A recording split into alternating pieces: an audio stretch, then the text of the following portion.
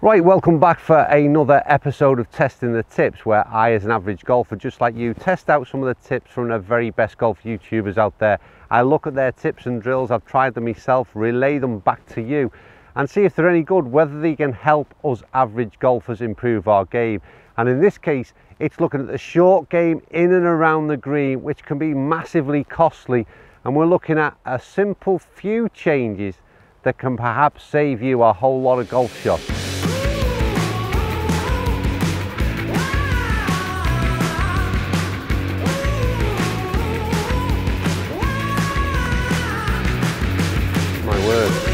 I'm impressed with this, you know.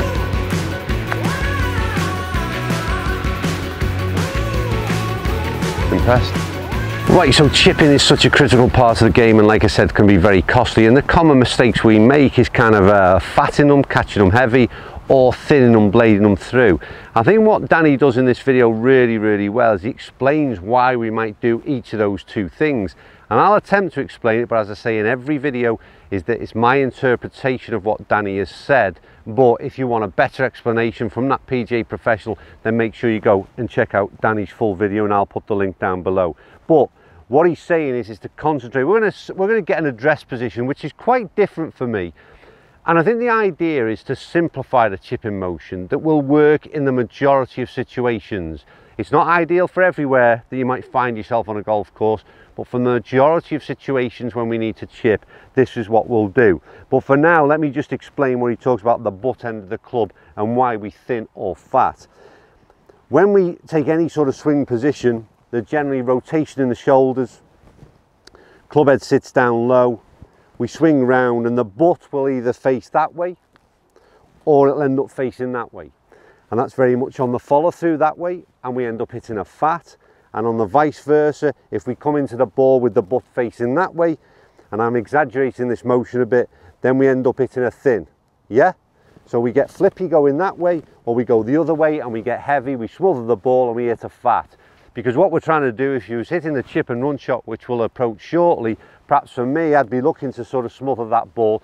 But there is that occasion where, again, and as Danny rightly points out, that butt is pointing forward and you hit down, you don't get that right, that's where the fat comes from, and vice versa, the thin. So that's what he's trying to eradicate. He's taking those uh, possibilities out of the equation, if you like. So how does he do it? Well, first of all, there's a massive change in terms of the way he addresses the ball and the way the club sits. He looks at the club as very much as a, a, a this is a pitching wedge, by the way. We're going to use two clubs for this drill, but this is pitching wedge. He looks at the club as a pendulum. It's very much upright and it's swinging like that. And this is the way we're going to address the ball, very much upright, very alien to me. Address the ball, like I said, almost stood, very much vertical, ball in the back of the stance and all he asks us to do is to swing with a very much a, a pendulum like motion right? Even I'm struggling to do it now. And to do that there's just a slight break in the wrist this back wrist. And it's as if you're throwing a ball is how he explains it on an underarm throw. And all we're going to do is take it back and through back and through. Now this is for a chip and run, don't forget. We've got a lot of green, we've got a pitching wedge, and all we're trying to do, and let me give it a go, is back and through. We haven't picked the easiest of places here to do a little bit of a demo because it's on a massive slope, this shot. But the idea is that probably pitched up a little bit higher than I wanted it to. So standing up high, back and through. Let me try that again. So back, through. That was the shot I was trying to hit, which was that much lower chip and run. That might even go in the hole. A bit better effort. So the idea, like I said, almost as if the heel of the club, when you stood at address, almost as if the heel of the toe, uh, the heel of the club is slightly raised off the ground. And again, the hands feel awkward, but it's just about taking that little bit of wrist break with the rear hand, the lower hand, and then through. And what it does, I'll give it one more go, back and through. Now what it does, it eliminates, first of all, I thought that was going to go in. First of all, what it does, it gets the ball rolling at the hole, right?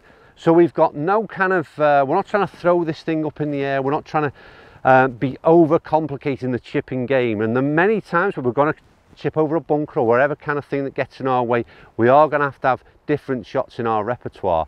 But to simplify the chipping efforts and to get something rolling at the hole, the first thing is that chipping run, we've got plenty of green to work with.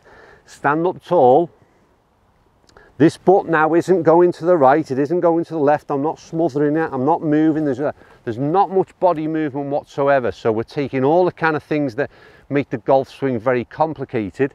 We're taking all those things out the equation. All we're doing is standing up tall, ball at the back of the stance, that back through, and then there. And you'll see that when I swing through, there's a bit of a rise in the butt. And again, it's the way Danny explains it. I don't really sort of understand this bit, but the butt will come back and then it moves slightly upwards in an upwards finish. So we're slightly, so we're back and then we're up. And that's all we're doing. It's a real, real simplistic way of chipping. It's not a method that I've ever used before. I've never stood that club up so tall, but what it does just in this first instance as a chip and run, it gets the ball rolling at the hole. It's not got a lot going on. There's no great movements. There's no great flicking of wrist. We're not smothering it. We're not trying to do anything special. Almost that pendulum motion of just letting a pitching wedge do its job. Pitching wedge 9-9, whatever you think for that type of shot. Just let the ball run out and release. But obviously there's other shots that are going to require just a little bit of a different shot. So I'll move into another situation and see how adopting the same technique really simplifies that chipping again. Now don't forget that was a chip and run shot. So we've got the 9 iron, we've got plenty of green to work with, we use that same motion. So what happens when we get into this position? We're on exactly the same green, we've got a little bit of um, first cut if you like that we've got to get over. But then the, uh, the flag is fairly close by. So we don't want to chip and run, we want this to just pop up a little bit and obviously we need it to stop and not release as much as that chip and run. Well, all Danny explains is that we simply change club. So everything stays the same, the motion stays the same. I've moved to a 58. I think in the demo video that he does, he uses a 56. We address the ball exactly the same. Ball in the back of the stance, nothing is changing hands and wrists are forward. That heel is almost off the ground. And don't forget it's that little chip. My word. I'm impressed with this you know. I'm impressed with it because like I said in all these tips what I like to find out is bits that I've never adopted in my own game. And I don't mind chipping. It's not what I'd call a weak part of my game but this is a very simple and straightforward way of adopting something that really is effective.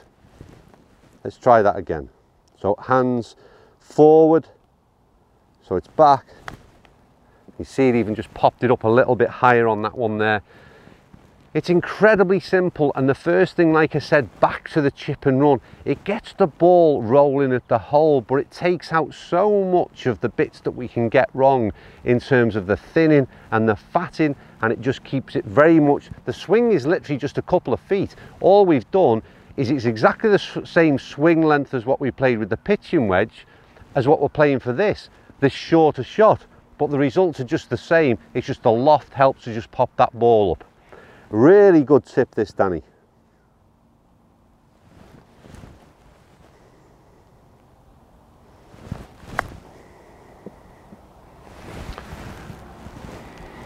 Impressed. Right, it's a third and final situation we've got to put ourselves in and uh, it's not, it's a kind of situation that most average golfers aren't going to like. We're sitting down in the rough, we've got a pin fairly close by. Can that same technique work in this situation as well? Well, Danny says so, but we're going to find out. And trust me, I've never tried this shot before. And prior to the six shots you've heard me watch on video, I'd never tried this technique at all. Like I said, this is brand new to me. Uh, but anyway, we'll do exactly the same thing.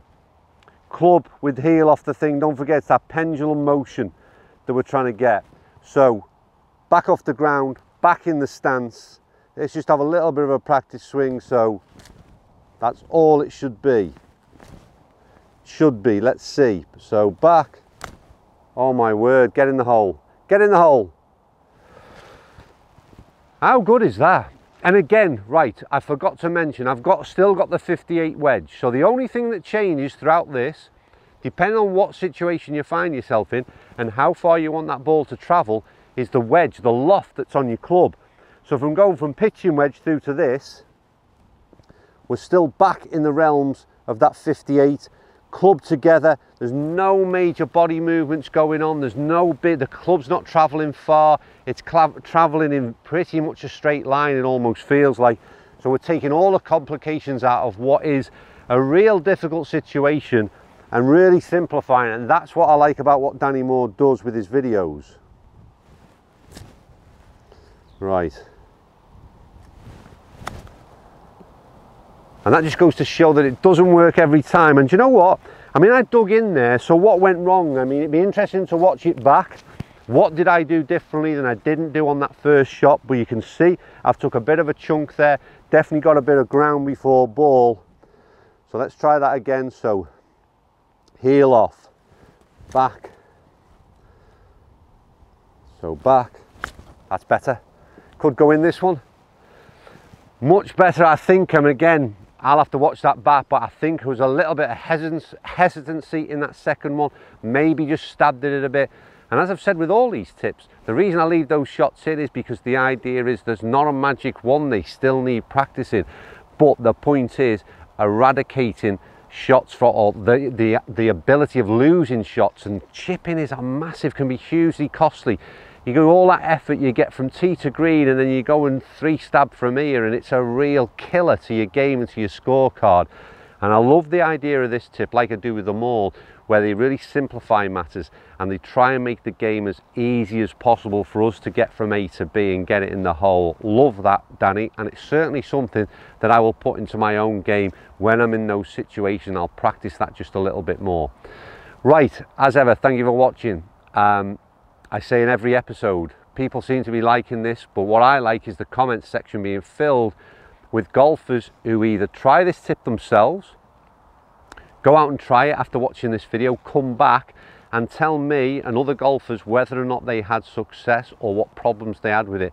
Because by reading all those comments between everybody else, it gives a good indicator of did this only work for me or is it working for a large majority of golfers out there and I think that then encourages others to give it a try.